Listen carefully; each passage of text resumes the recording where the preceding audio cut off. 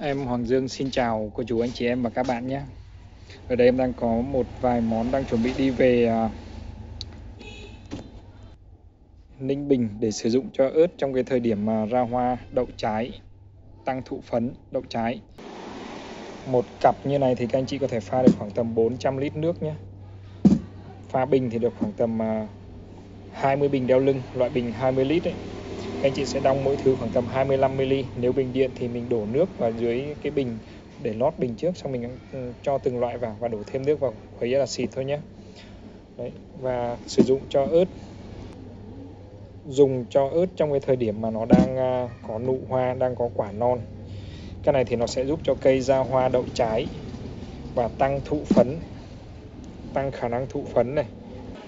Cái cặp này nó sẽ à, giúp để cung cấp cái uh, dinh dưỡng kịp thời cho cây trong cái thời điểm mà nuôi hoa và nuôi trái đấy nhé và nó kích thích uh, ra hoa nhanh mạnh và tăng khả năng tăng khả năng đậu trái này cho ra nhiều hoa.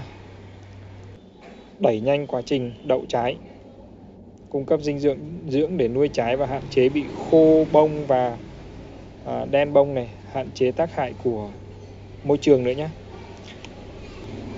ra hoa đậu trái này ớt này hoặc là các loại cây rau màu khác trong thời điểm ra hoa đậu trái và nó còn hạn chế cái hiện tượng như là thối trái, nám trái và dị dạng trái như là trái không ờ, không được thẳng đều đẹp đấy. Đấy nó hiện tượng những cái hiện nó nó, nó giảm những cái hiện tượng như là bị à, dị dạng này, bị nám trái, thối trái, nứt trái. Cảm ơn cô chú anh chị em đã xem video và hẹn gặp lại cô chú anh chị em ở video sau.